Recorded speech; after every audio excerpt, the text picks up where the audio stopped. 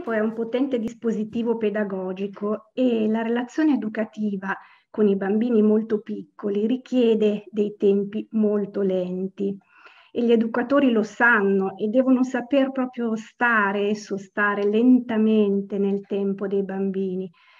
Per questo vi proponiamo di prenderci e di darci un tempo eh, per poter rigenerare e risignificare tutte insieme il tempo educativo che diamo ai bambini e a noi tutte insieme.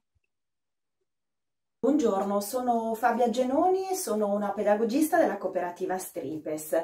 Ho recuperato tutti questi libri perché eh, volevo cercare un modo per risparmiare tempo e comunque riuscire a fare le mille cose che ognuno di noi deve fare nell'arco di una giornata. Poi ho trovato questo libro, Momo di Michael Ende e ho scoperto che forse non era la strada giusta.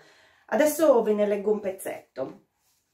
Nessuno si rendeva conto che risparmiando tempo in realtà risparmiava tutt'altro.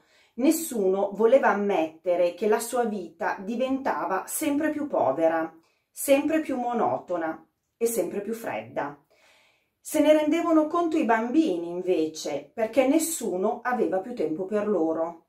Ma il tempo è vita e la vita risiede nel cuore e quanto più ne risparmiavano, tanto meno ne avevano.